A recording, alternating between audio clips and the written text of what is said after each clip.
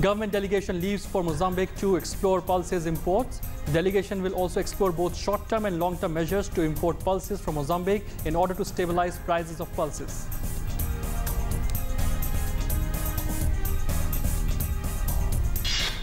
Looking at the rising numbers of people who are not filing their ITR, Income Tax Department takes stern measures. Income Tax Department asks officials of IT Department to penalize those who are not filing ITRs on time.